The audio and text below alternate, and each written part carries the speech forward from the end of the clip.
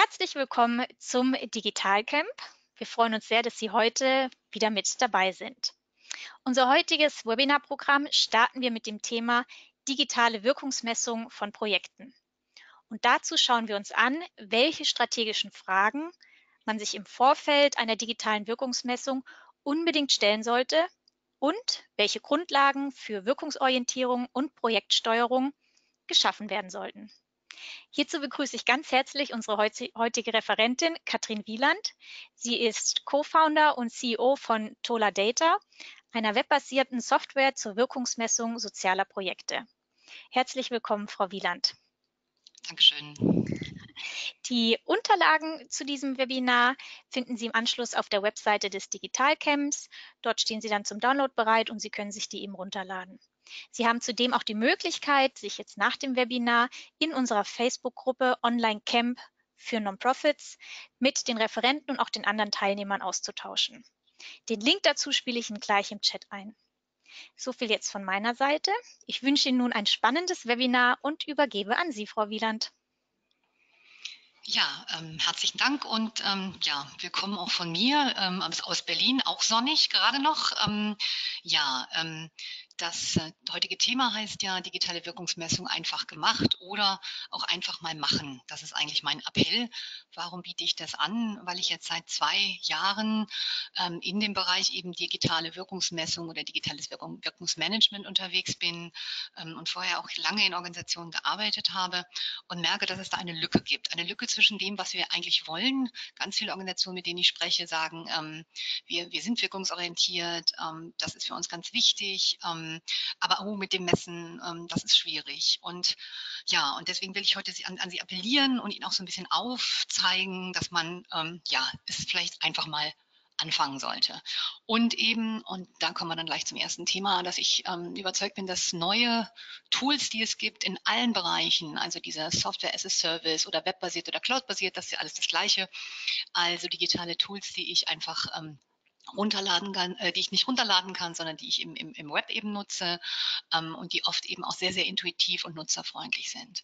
Ähm, wie Frau Perisch gerade schon gesagt hat, gehen wir ganz kurz auf die Voraussetzungen ein, ähm, die es dazu braucht. Da streife ich auch einige Themen, die es, ähm, die es ähm, diese, diese Woche schon im, im Webinaren gab. Ähm, ich mache das trotzdem nicht, weil ich äh, anmaßend bin und glaube, dass ich da überall der totale Experte bin, aber ich habe, äh, wie wahrscheinlich viele von Ihnen auch, auch für ganz kleine Organisationen gearbeitet und ähm, ja, und weiß, dass man, wenn man in einer kleinen Organisation ähm, arbeitet, dann muss man ja irgendwie doch alles können.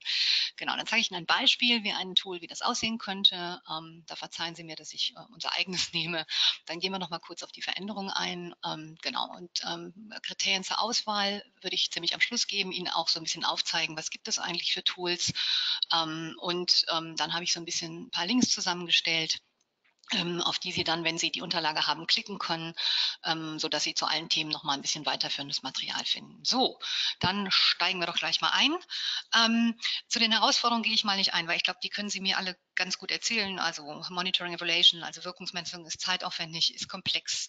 Man hat keine Ressourcen davor, man weiß nicht, wie man anfängt. Trotzdem also hier mein Appell.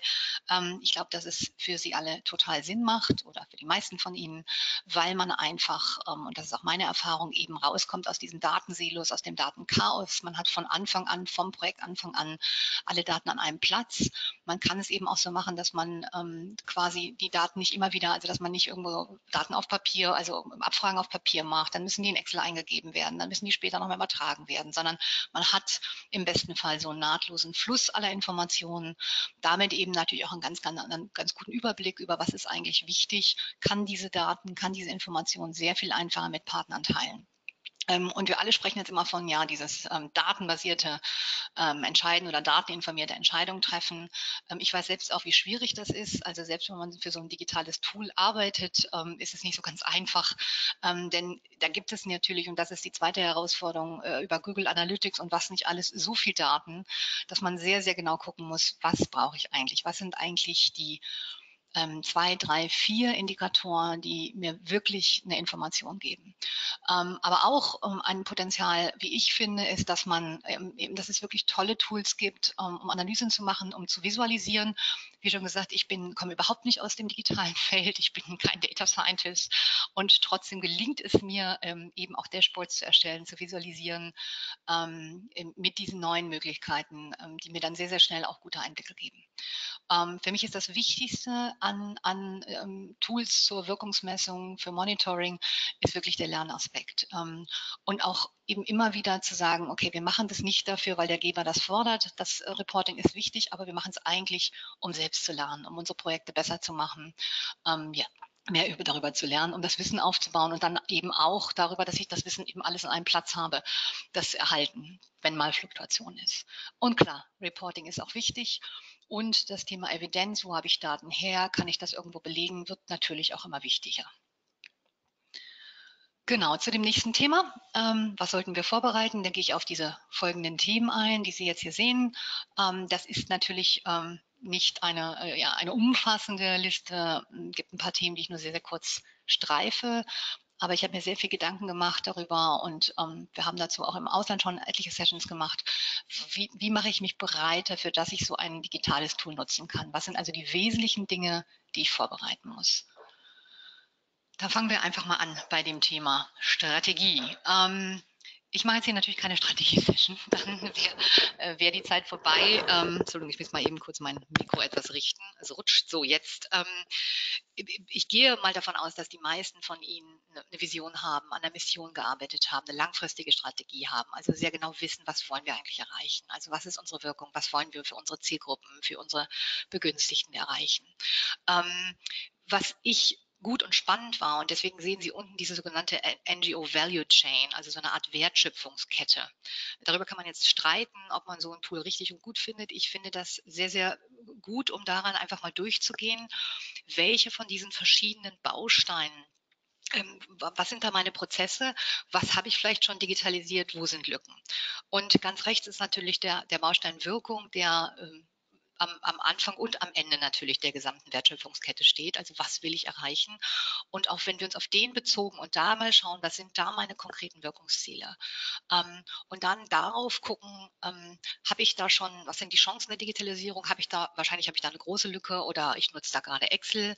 Ähm, und wenn ich jetzt sage, ich möchte da etwas anderes machen, natürlich, das klingt banal, wie sind meine finanziellen und personellen Ressourcen, aber manchmal vergisst man es eben. Also ich kenne es aus großen Organisationen, ich habe ja auch lange für Save the Children gearbeitet. Ähm, da haben wir ganz gerne Eigenentwicklung gemacht und gedacht, wir haben die personellen und finanziellen Ressourcen und diese Eigenentwicklungen sind dann, glaube ich, immer total aus dem Ruder gelaufen. Oftmals passiert das auch, wenn man kommerzielle Tools nimmt und dann denkt, okay, das kriege ich ja umsonst und das kann ich ja ganz schnell adaptieren. Also das muss man sich am Anfang schon gut überlegen. Ähm, auch kritisch nachfragen ähm, und eher sagen, okay, eher das Ganze zurücknehmen. Viele werden wahrscheinlich auch sehr, sehr kleine, in sehr, sehr kleinen Vereinen an der Stiftung arbeiten, wo sowieso nur ein, zwei Leute da sind. Dann äh, kennt man ja seine eigenen Ressourcen auch ganz gut.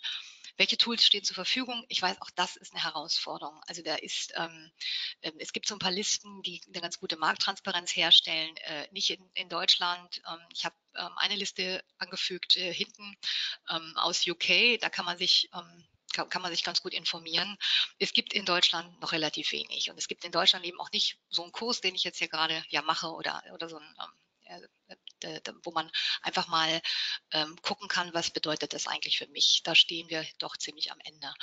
Und das Wichtigste ist eigentlich, ähm, wenn ich eine Digitalstrategie mache und ich weiß, dass es dazu ähm, eine, äh, eine Session gab in dieser Woche, und das war bestimmt auch das Thema, alle mitzunehmen. Also zu gucken, wen muss ich da eigentlich mitnehmen? Wie kriege ich meine Prozesse mit dem, mit den Menschen, mit unserer Kultur und mit der Technologie zusammen?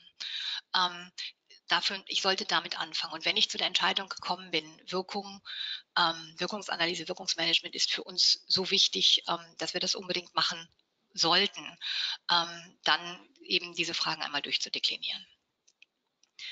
Ähm, das Zweite, was ich vorbereiten muss, ähm, denn ich muss einfach, wenn ein, die Einsetzung eines digitalen Tools macht natürlich nur Sinn, wenn ich dafür auch bereit bin. Also Wirkung zu managen digital macht nur Sinn, ähm, wenn ich wenn ich bestimmte Themen eben erfüllt habe.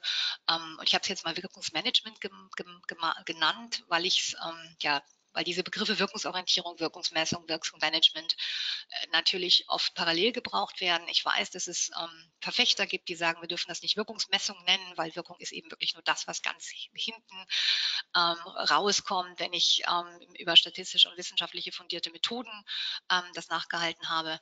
Das sehe ich ein bisschen anders. Ich glaube, wir sollten anfangen, wenn wir schon mal anfangen, unsere Outputs und vielleicht erste Outcomes nachzuhalten, die Daten parat zu haben, die, die ähm, in quasi Echtzeit oder sehr, sehr kurzfristig zu haben, gibt uns das ganz, ganz viel Möglichkeiten. Insofern mein Appell auch da einfach mal anzufangen.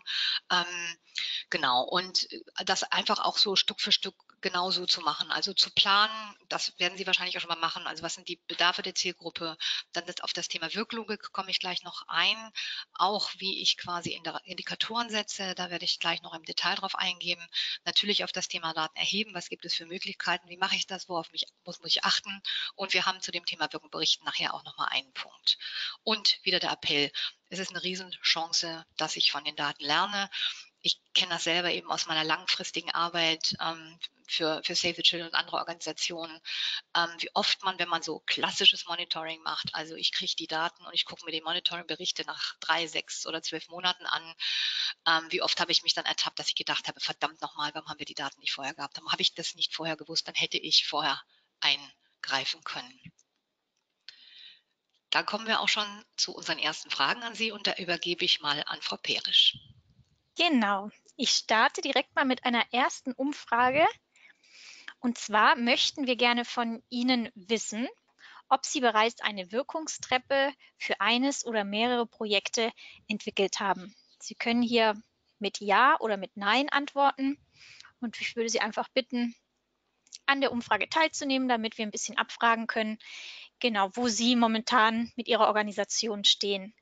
70 Prozent von Ihnen haben auch schon abgestimmt. Für Sie zur Info, wir sind derzeit 266 Teilnehmer hier im Webinar und ich lasse die Umfrage noch einen ganz kleinen Moment auf, bevor ich Ihnen gleich die Ergebnisse anzeige, die schon sehr eindeutig sind. Und dann schließe ich die Umfrage und zeige Ihnen auch das erste Ergebnis. Und zwar sagen knapp 80 Prozent, also 79 Prozent von Ihnen, nein, sie haben noch keine Wirkungstreppe Wirkungstreppe entwickelt. 21 Prozent von ihnen haben schon eine Wirkungstreppe entwickelt. Dann kommen wir auch direkt zur zweiten Umfrage. Und zwar möchten wir jetzt von Ihnen wissen, ob Sie bereits Indikatoren für Outputs und Outcomes entwickelt haben. Hier können Sie wieder mit Ja, Nein antworten. Und ich sehe, es wird gerade rege abgestimmt. Ich warte noch einen ganz kleinen Moment, bevor ich Ihnen wieder das Ergebnis anzeigen werde.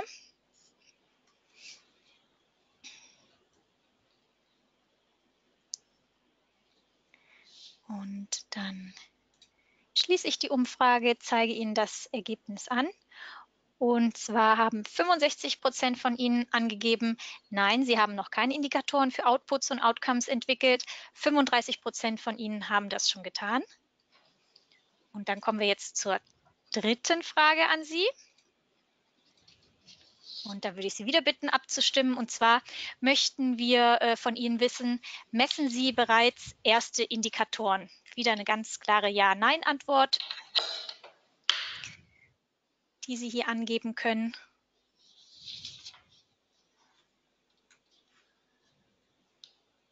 Und dann werde ich die Umfrage schließen und Ihnen das Ergebnis wieder anzeigen. Nicht mehr ganz so eindeutig.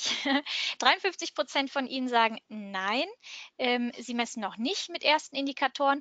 47 Prozent tun dies aber schon. Also relativ knapp beieinander. Vielen Dank für Ihre Teilnahme. Und dann übergebe ich jetzt wieder an Sie, Frau Wieland. Vielen Dank, Frau Perisch. Ja, ähm, das wollten wir gerne wissen, weil ich ähm, dann äh, überlegt habe, wie lang oder kurz ich auf das Thema Wirkmodelle eingehe. Ähm, das Thema Wirkmodell ist eines, was mal 1962 durch USAID entwickelt wurde unter dem Begriff Logframe oder Logical Framework. Ähm, da gibt es verschiedene Modelle. Es gibt eben diesen, diesen Logframe, es gibt Results Frameworks, ähm, es gibt dieses klassische IOOI, also Input, Output, Outcomes, Impact Modell. Ähm, es gibt siebenstufige Modelle von Fineo, aber im Endeffekt muss ich wirklich sagen, ist, sind sie alle sehr, sehr ähnlich. Also komplex oder weniger komplex. Wenn ich anfange mit so etwas, würde ich das auch versuchen, sehr einfach zu halten. Ich habe jetzt hier drin natürlich die Inputs, also was fließt ein an Ressourcen, ähm, personell, dann welche Aktivitäten machen wir damit, was sind die Outputs, also was sind die erbrachten Leistungen, wobei man auch da oftmals schon ins, ins, ins Schleudern kommt, weil Activities und Outputs oft dann äh, denkt man, okay, das ist so identisch, macht das überhaupt Sinn? Dann streichen Sie einfach die Activities und schreiben das unter die Outputs. Also wirklich einfach und pragmatisch. Und dann wird es natürlich immer ein bisschen komplizierter. Dann ist eben die Frage, was sind meine Outcomes? Was sind die Veränderungen bei meiner Zielgruppe? Hat meine Zielgruppe neue Fähigkeiten? Können sie anders handeln? Hat sich ihre Lebenslage verändert? Ich weiß, dass das relativ komplex ist. Weil wir heute das Thema digitale Wirkungsmessung haben, können wir darauf nicht so wahnsinnig viel eingehen. Da würde ich aber einfach an Sie appellieren, auch hinten den Links mal nachher zu folgen ähm, und ähm, vielleicht eine Session zu machen. Da gibt es auch ganz gute, ganz gute Anleitung zu und sich für ein Projekt oder mehrere Projekte mal, mal so etwas zu überlegen. Es hilft einfach doch nochmal ganz anders über seine Projekte nachzudenken. Und natürlich ist das, was wir alle wollen, wir wollen die langfristigen Effekte auf einer gesellschaftlichen Ebene. Das zu messen benötigt natürlich dann Kontrollgruppen, benötigt, dass man eben auch sagt, okay, welche Faktoren haben jetzt meine äh, meine begünstigten, was sind die Effekte, die ich auf sie hatte, was sind eben da Effekte, die ich eben nicht beeinflussen konnte. Da wird es komplexer. Ähm, da, da muss man natürlich dann auch wahrscheinlich ein bisschen Geld in die Hand nehmen.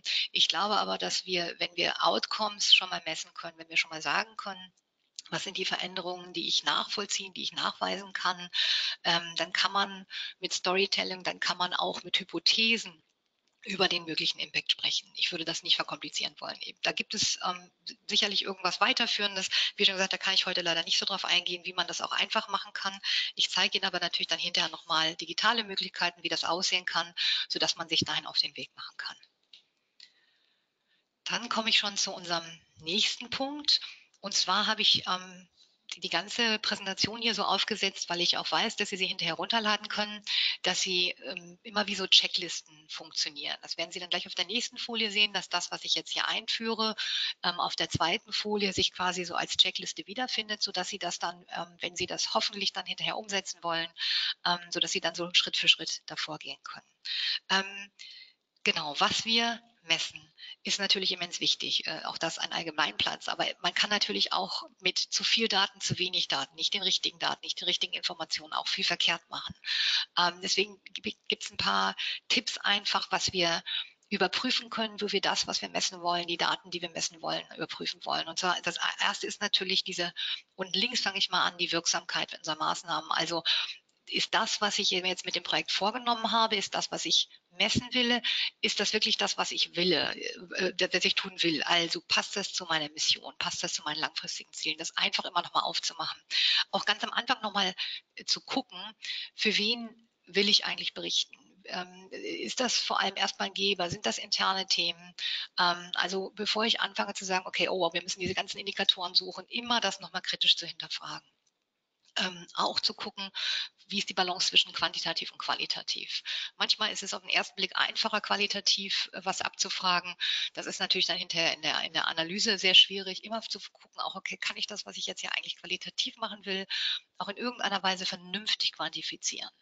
Ähm, und der Appell natürlich auch zu gucken, kann ich schon mal in die Ergebnisorientierung gehen und nicht messen, okay, was sind meine Aktivitäten, was packe ich da rein, muss ich auch wissen, aber auch zu gucken, okay, was ähm, bewirkt das bei meiner Zielgruppe? Also kann ich da schon irgendwas messen, um dann einfach besser sehen zu können, sind wir auf dem richtigen Weg.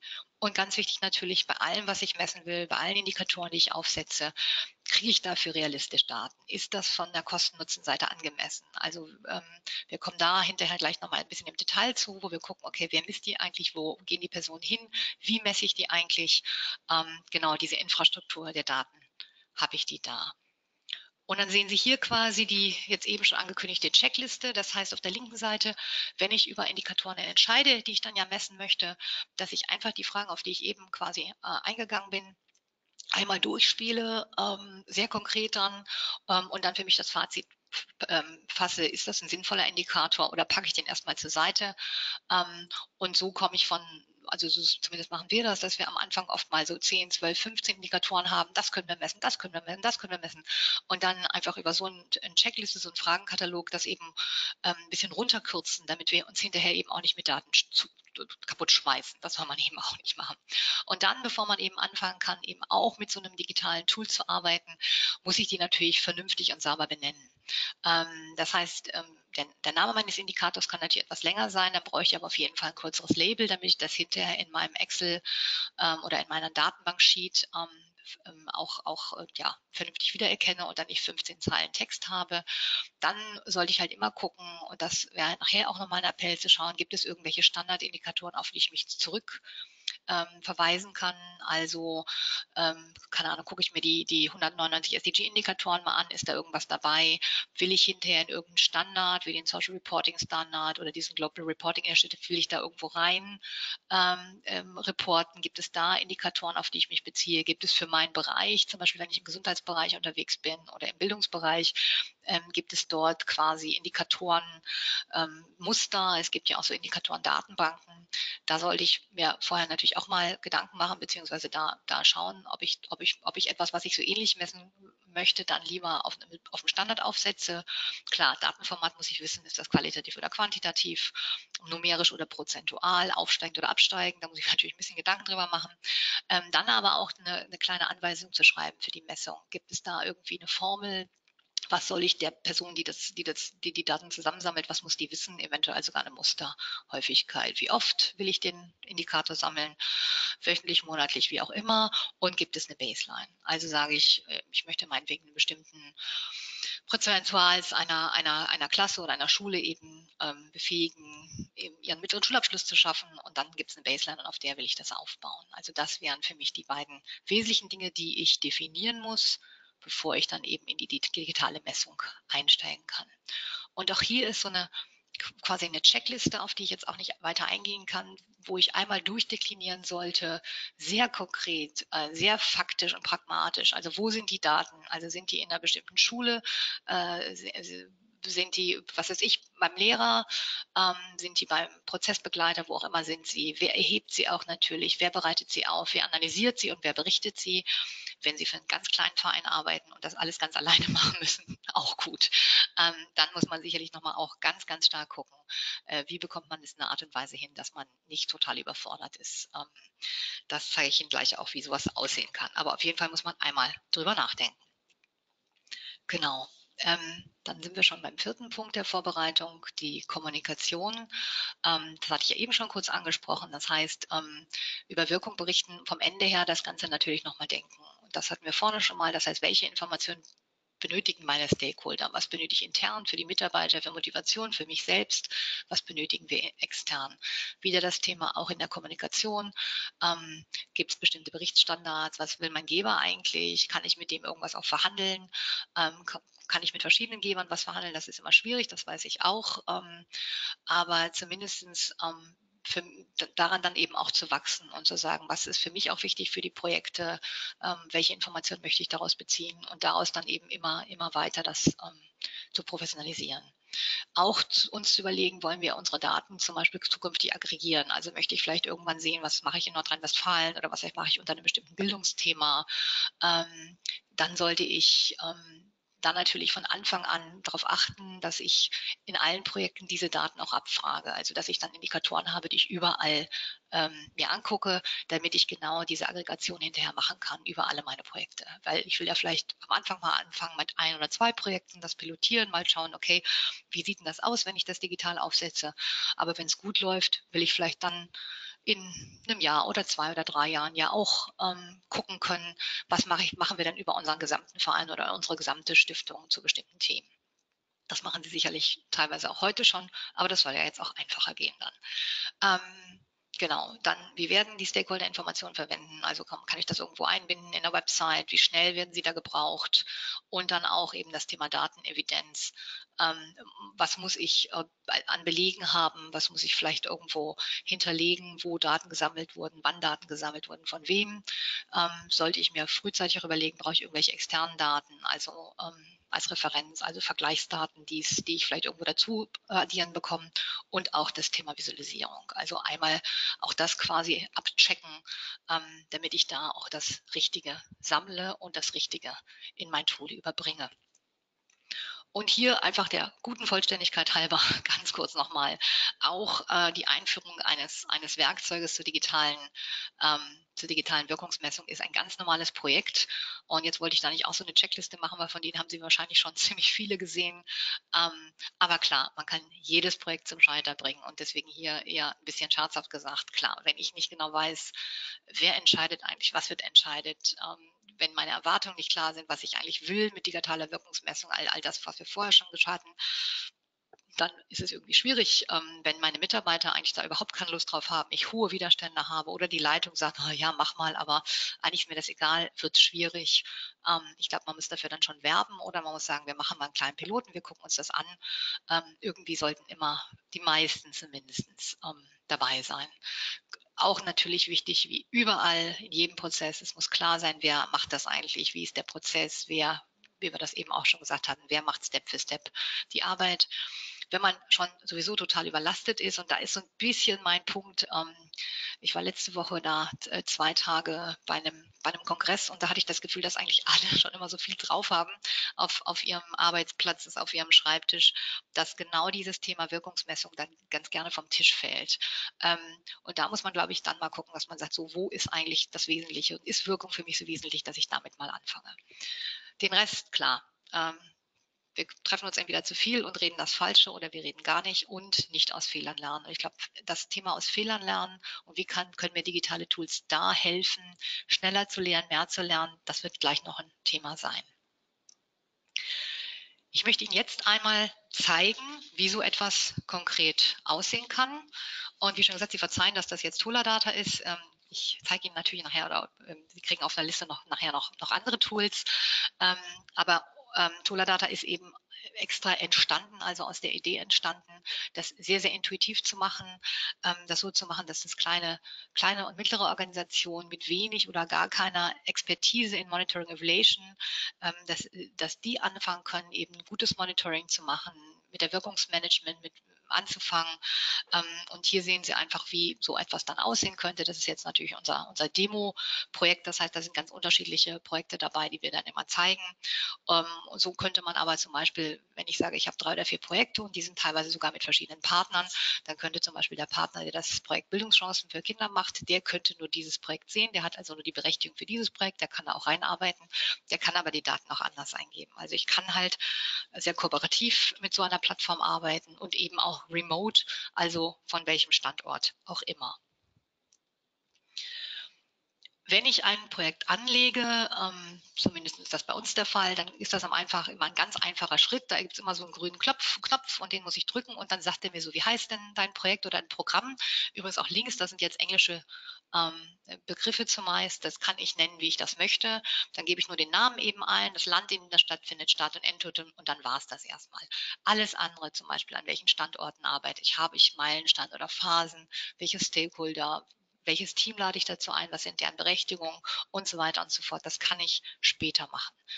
Ähm, aber zumindest kann ich das hier anfangen.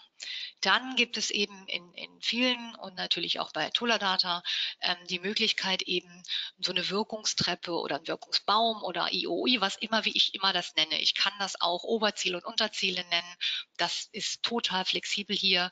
Ähm, ich kann die Anzahl der Stufen auch für mich entscheiden. Also äh, das, da ist man, äh, ist man bei uns zumindest extrem flexibel und das ist ja auch richtig so, weil jede Organisation ist anders und auch da ist es so, man muss einfach auf das Plus drücken und seinen Namen angeben, noch so ein bisschen gucken, wo soll es hin, welche Farbe soll das hin, ist also ähm, ein Kinderspiel, sagen wir mal so. Und dann kann man damit ein bisschen rumspielen, denn es überzieht sich dann in die Indikatorenliste. Das wäre also der dritte Schritt. Ich habe mir vorher meine Indikatoren überlegt. Da haben wir die beiden Checklisten gehabt. Und dann habe ich zum Beispiel hier eine Prozentsätze der Schüler, die ihre Abschlussprüfung bestehen und sage, das ist ein zunehmender Indikator. Ähm, so, mein, mein Ziel ist ähm, 90 Prozent und 75 Prozent haben das jetzt, äh, so, so bin ich jetzt dabei. Ähm, das heißt, ich kann dann hier auf einen Blick für dieses Projekt und später dann eben auch im Vergleich mit verschiedenen Projekten sehen, wo stehe ich denn.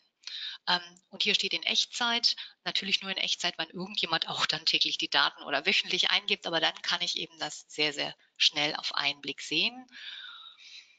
Und hier habe ich Ihnen einfach mal ganz kurz ähm, aufgezeigt, wie so eine Indikatoren-Detailseite, also wo wir gerade jetzt sind, ist in dem, da oben in dem Datentab, also Sie sehen oben die Indikatoren-Details, das ist das, was, Sie, was ich am Anfang gesagt habe, wo Sie eingeben, also wie heißt mein Indikator, ist der numerisch oder prozentual, ähm, was ist mein, im, im zweiten Tab da oben würde man das Ziel, den Zielwert eingeben, also mein Zielwert sind 90 Prozent. Dann habe ich sogenannte Disaggregationen, das heißt, möchte ich abfragen, ähm, wie das mit Mädchen und Jungen oder mit verschiedenen Altersstufen ist. Und dann habe ich eben hier die Datenerhebung.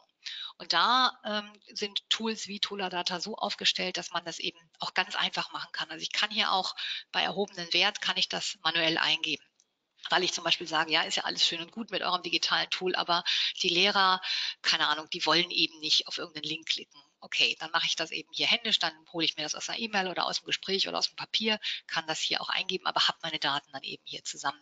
Was ich aber auch machen kann, ich kann ähm, über Toladata zum Beispiel, das ist links Formulare, jetzt muss ich selbst mal eben kurz gucken, das habe ich äh, ausgelassen.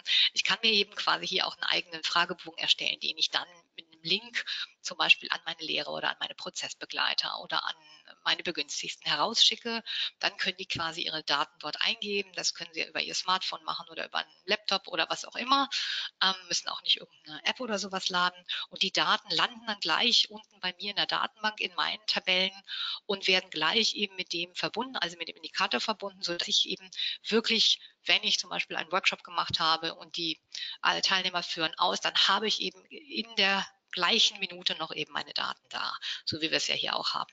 So, und dann wäre eben der, der letzte Schritt, äh, dass ich das dann eben auch aufarbeiten und und kommunizieren kann. Das heißt, in modernen Tools sind dann eben solche Dashboards oder Reports schon einbezogen. Ähm, und dachte, das, das sind mal diese blöden Worte, für die es kein deutsches Wort gibt. Widgets. Ich habe immer mal geguckt, ob man Widgets übersetzen kann. Also Widgets sind wie diese kleinen einzelnen Teilchen da, diese ähm, Unterteile eines Dashboards. Und die haben wir zum Beispiel so vorkonfiguriert. Das heißt, man kann sagen, ich will einen Indikator erstellen und ich will quasi soll versus ist erstellen oder ich will den Indikator auf der Zeitleiste erstellen. Und dann kann man sich das eben quasi so zusammenklicken. Das heißt, ich kann mir so ein eigenes Dashboard erstellen und kann sagen, das ist mein Dashboard, meinetwegen, das ist mein Quartalsbericht an meinen Vorstand oder das ist ähm, Bericht, den, den schicke ich dann dem, dem, dem Geber per PDF oder ich schicke ihm Link dazu, dann kann der auch nur den Report sehen.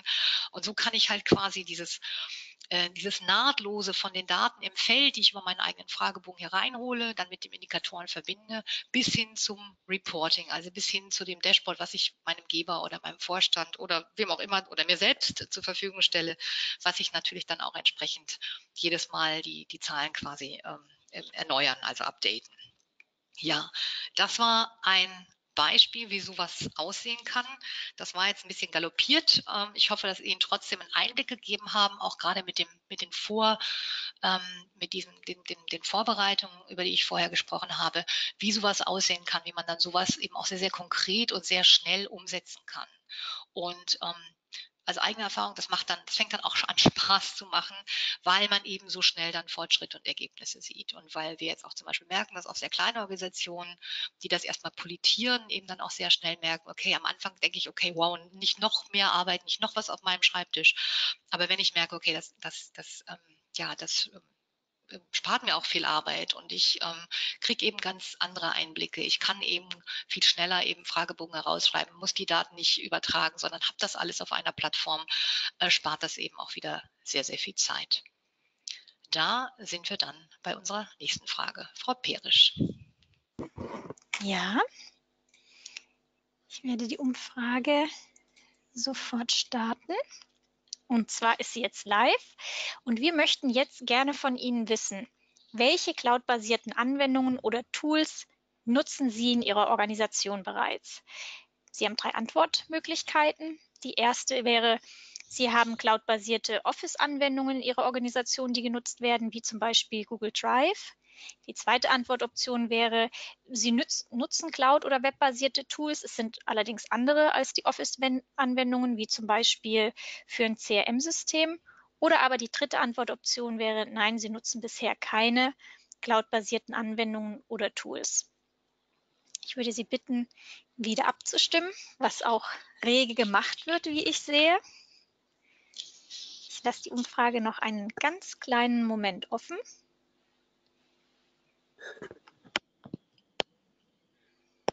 Und dann schließe ich jetzt wieder die Umfrage und zeige Ihnen auch direkt das Ergebnis an. Ganz knapp. 35 Prozent von Ihnen sagen ja, sie nutzen ähm, Cloud- oder webbasierte Tools. Dicht gefolgt von 34 Prozent von Ihnen, die sagen nein, sie nutzen bisher keine cloud-basierten Anwendungen oder Tools und 31 Prozent von ihnen nutzen cloud-basierte Office-Anwendungen. Also insgesamt sind 66 Prozent von ihnen schon dabei, ähm, cloud-basierte Anwendungen oder Tools in der Organisation zu nutzen. Vielen Dank für Ihre, Umf äh, für Ihre Teilnahme und dann übergebe ich wieder an Sie, Frau Wieland. Dankeschön. Ja, ähm, das wollte ich wissen, weil sich ja doch einiges verändert.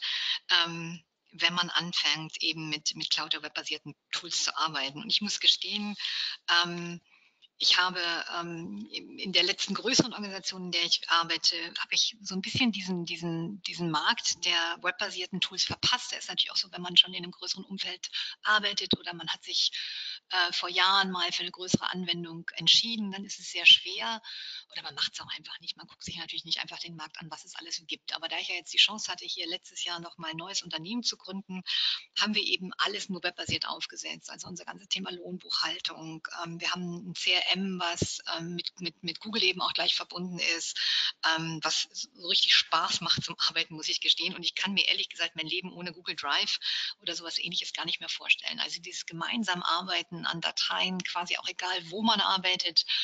Ähm, dieses flexible Arbeiten, ähm, muss ich sagen, hat mein, mein Leben doch sehr, sehr verändert. So, wie ist das mit dem digitalen Wirkungsmanagement? Ähm, was kann sich ändern zum, zum Guten und zum Schlechten? Ähm, ich glaube und ich sehe das auch, ähm, auch aus meiner ja, 15-, 20-jährigen Erfahrung in, in gemeinnützigen Vereinen und, und NGOs, ähm, ist es extrem wichtig, dass wir, dass wir lernen, dass wir schnell sehen, was funktioniert und was nicht funktioniert. Also ich könnte Ihnen noch zwei Stunden ähm, aus dem Nähkästchen erzählen von allen möglichen Erfahrungen, wo ich mich wirklich hinterher geärgert habe, dass ich nicht wusste, zum Beispiel, dass bestimmte Seminare in Kenia nicht funktioniert haben, wo ich nicht wusste, dass wir gerade was einführen auf den Philippinen, was es in Indonesien, in Indonesien längst gab. Ähm, dass wir ganz viele Interventionen hatten. Wir haben mal geguckt, 80 verschiedene Interventionen für, für Newborn Child Survival ähm, und ein paar waren super wirkungsvoll, ein paar, paar nicht wo man dann echt über sich selbst den Kopf schüttelt und sagt, das kann doch nicht sein, dass wir im, im Zeitalter von, von digitalen Möglichkeiten, dass wir da so hinterherhinken. Also mein Appell eben wirklich zu sagen, gucken, kriegen Sie, dass Sie die Daten äh, so hinbekommen, dass Sie sich sehr genau überlegen, was müssen wir wissen, was wollen wir wissen, denn man kann dann wirklich seine Arbeit natürlich ganz anders kontinuierlich verbessern, hinterfragen und damit auch ja, bessere Angebote für, für die Menschen, für die wir arbeiten, erstellen.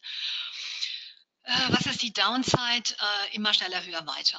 Das, ähm, klar, mehr Daten, mehr Informationen ähm, führen dazu, dass diejenigen, die, die, ja, die in der Entwicklungszusammenarbeit, die in Sozialarbeiten, die, die soziale Themen haben, ist es eben nie genug. Ich kenne das auch.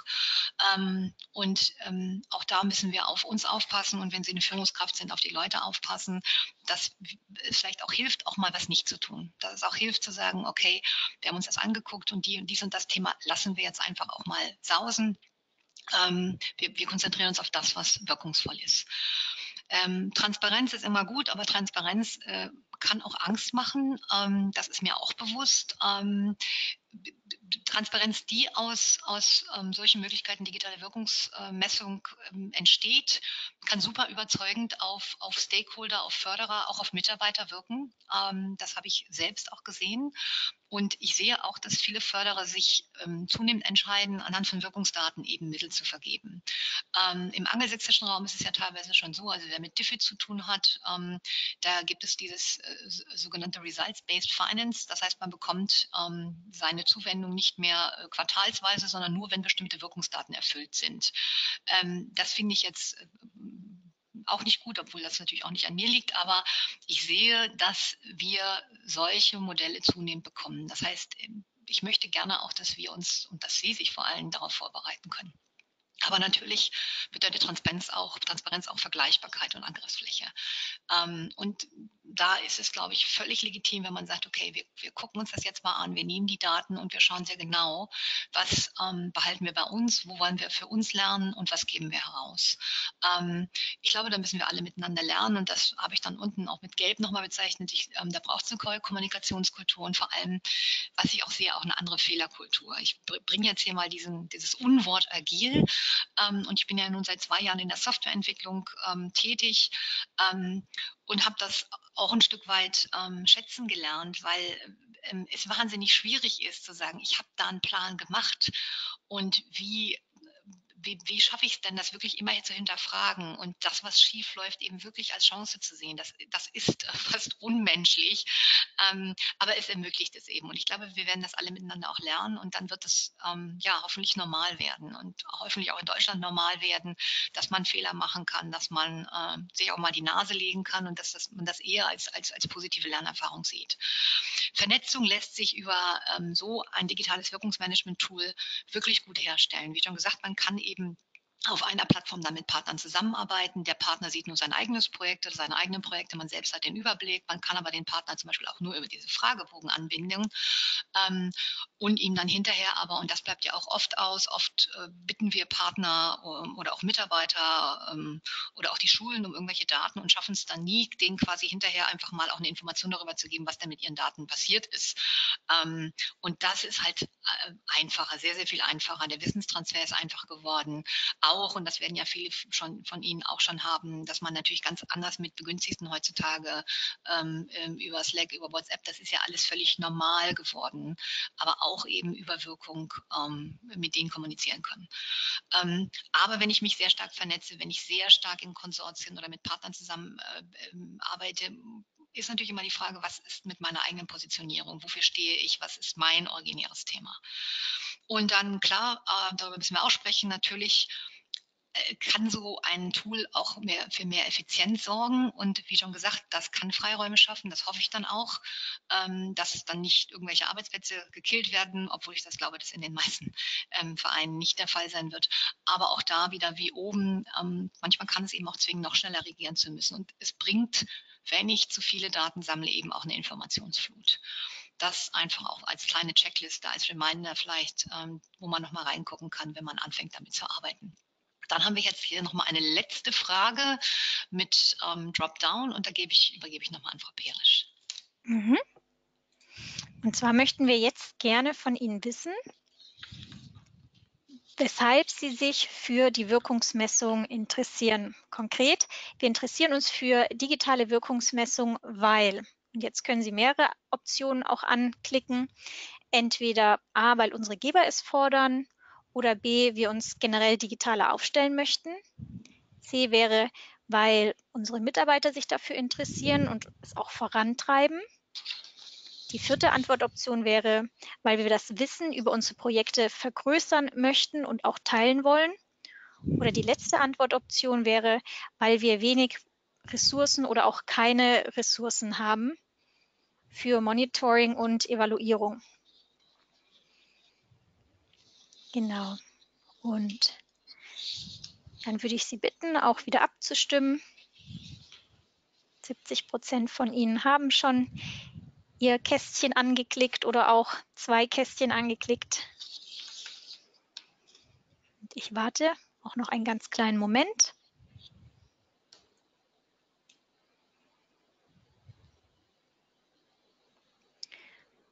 Und dann schließe ich die Umfrage und zeige Ihnen auch direkt das Ergebnis. 71 Prozent von Ihnen sagen, sie möchten das Wissen über die eigenen Projekte vergrößern oder teilen und interessieren sich daher für die Wirkungsmessung, gefolgt von 63 Prozent von Ihnen, die sagen, ähm, wir möchten uns generell digitaler aufstellen. 37 Prozent von Ihnen sagen, äh, weil wir einfach keine oder wenig Ressourcen für Monitoring und Evaluierung haben.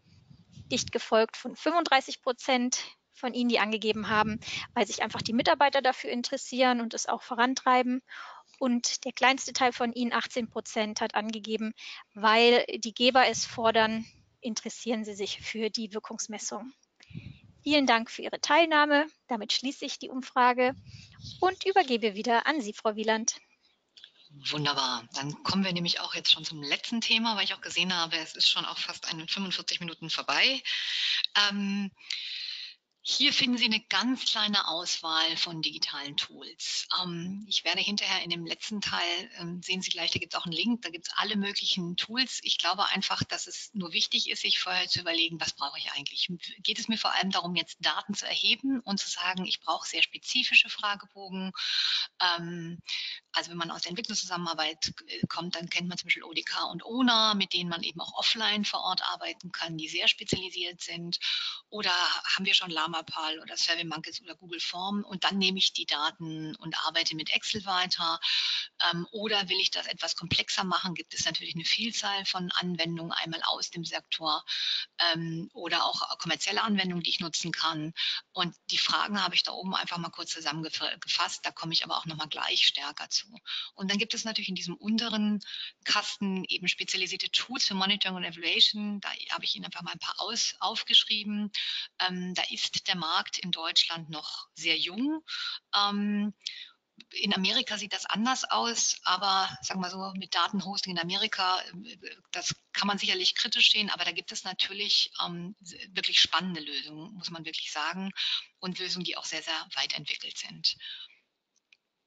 Der wesentliche Teil ist aber dann, glaube ich, dass Sie sich ganz genau überlegen, und das ist sicherlich der, der nächste Schritt, ähm, zu sagen, was brauchen wir eigentlich, welche Funktionalitäten, was ich gerade schon gesagt habe. Wollen wir die Daten vor allem eben erheben, wollen wir sie managen, müssen wir sie analysieren, wollen wir sie kommunizieren?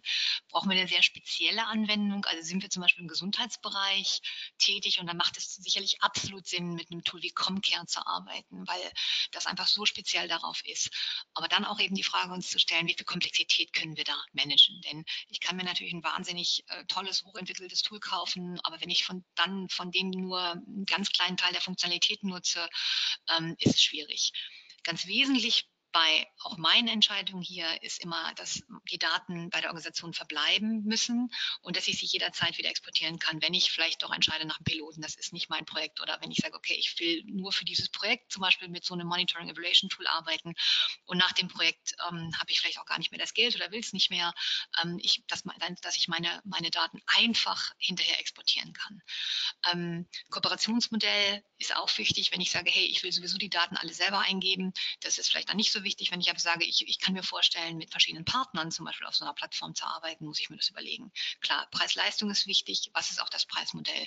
Ist es ein Preis per User ähm, oder sind es verschiedene quasi so Körbe, 1 bis 5 oder 5 bis 10? Was passt für mich? Und natürlich auch immer, immer, das habe ich jetzt hier vergessen, sehe ich gerade, auf jeden Fall darauf achten, dass Sie sowas wie ein, wie ein Free Trial, also eine, eine, eine Testphase haben, ähm, sodass Sie vier Wochen mindestens gucken können, ähm, passt das für mich, ohne dass ich sich daraus irgendeine, äh, ja, ja, irgendein Zwang oder irgendein automatischer Kauf ergibt. Da würde ich auf jeden Fall darauf achten. Natürlich die personalen Kapazitäten.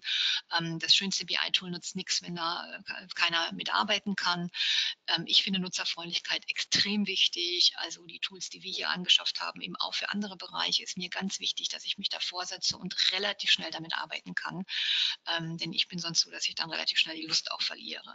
Flexibilität ist wie oben zu sagen, gibt es da Module, kann ich das für mich skalieren ähm, in, einer, in, einer, vernünftigen Art, sodass ich vielleicht bei kleineren und minder komplexen Projekten gar nicht so viel nutze.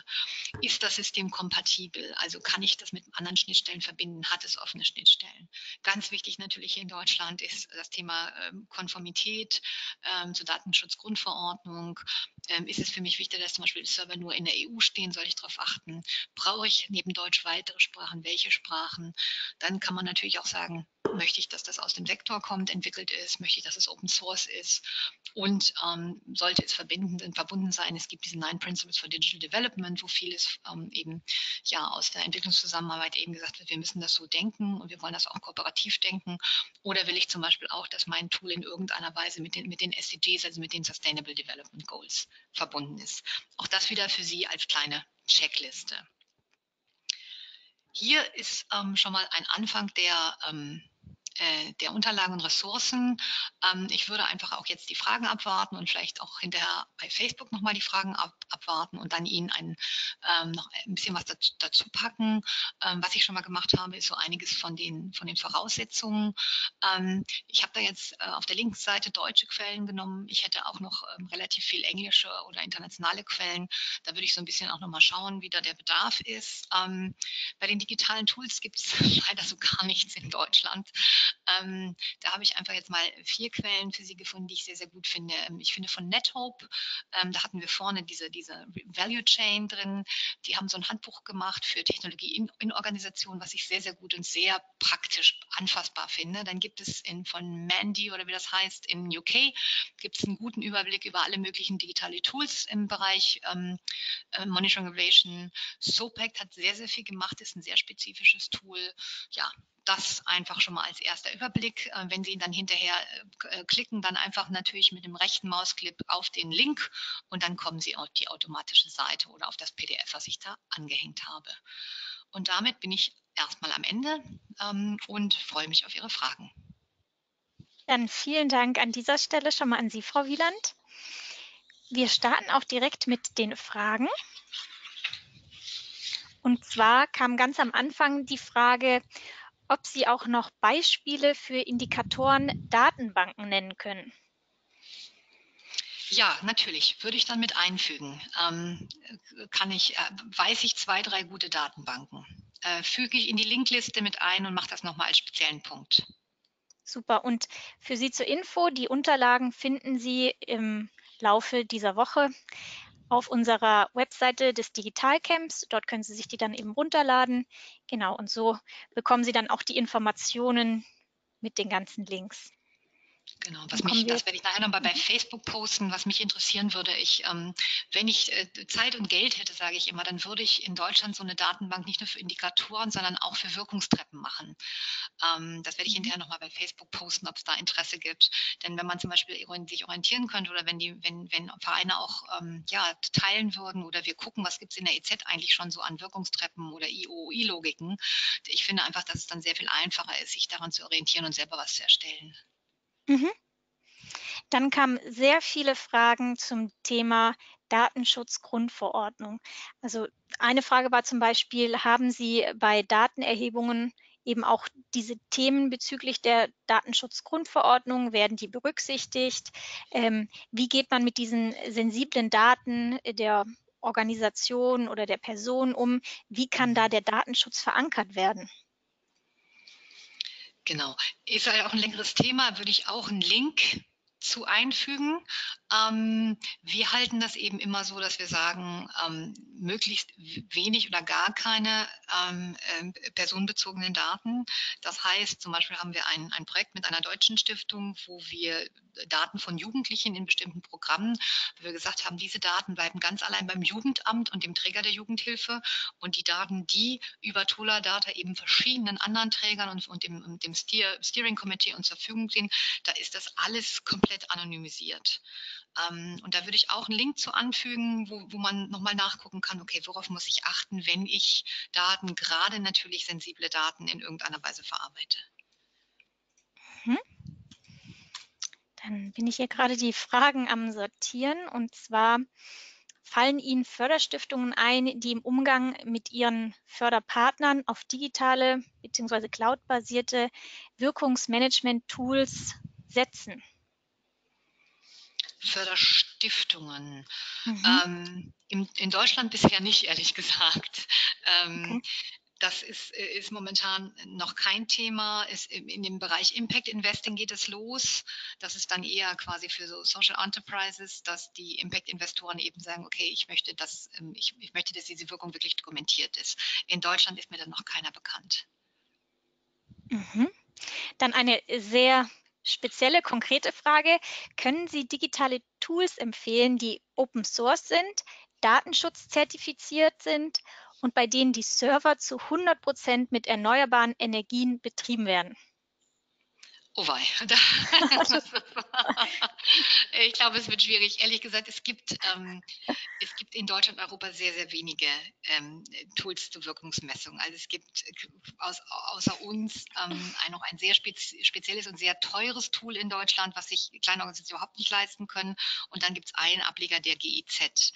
Ähm, ob jetzt ehrlich gesagt unsere Server, mit, mit welcher Art von Energie die betrieben werden, das wüsste ich nicht mal. Ich kann mich da mal schlau machen. Ähm, mhm. Aber das, äh, da kann ich momentan nicht, da tut mir leid, nichts zu sagen. Aber es ist eine sehr spannende und gute Frage. Ich werde genau diese Frage auch mal an unseren, äh, unseren Dienstleister stellen, der die Server betreibt, weil das natürlich ein Thema ist, ähm, dem wir uns auch stellen müssen, dass wir natürlich durch jede Abfrage und durch alles, was wir so gedankenlos googeln den ganzen Tag eben auch immer Energie verbrauchen. Mhm. Dann kamen jetzt einige Fragen, die sich sehr speziell auf Toladata ähm, spezialisieren. Da würde ich zum einen sagen, Frau Wieland ist ja auch gleich in der Facebook-Gruppe, wo sie ganz genau auf die ganzen Fragen eingehen kann. Und ähm, sonst können Sie sich eben auch an Frau Wieland direkt wenden. Eine Frage kam jetzt hier öfter, die würde ich jetzt stellen, bevor ich dann wieder versuche, mehr die allgemeinen Fragen zu stellen. Und zwar, wie es bei Toladata generell mit den Preisen aussieht. Also wenn Sie da ganz kurz was sagen können, was es mit der Software genau auf sich hat. Ja, also es gibt ein, ein Preisblatt auf der Website und man kann bei uns auf der Website auch ganz einfach sich für ein Free Trial anmelden. Ähm, also das einfach mal ausprobieren für umsonst. Und dann geht es los bei, bei 49 Euro im Monat. Da hat man zwei Nutzerlizenzen und kann halt komplett alles durchnutzen.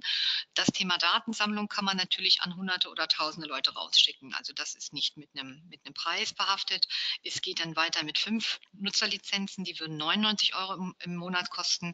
Das klingt jetzt erstmal teurer, aber ich verspreche Ihnen, die Arbeitserleichterung und äh, der Effizienzgewinn ist deutlich größer. Ähm, und wenn eine Organisation das überhaupt nicht hinbekommt, dann finden wir auch eine Lösung. Also wir haben bisher noch niemanden, der Interesse hatte, nach Hause geschickt, weil wir, vielleicht sage ich das auch nochmal dazu, ähm, wir sind, kommen, verstehen uns als, als, als, als Sozialunternehmen.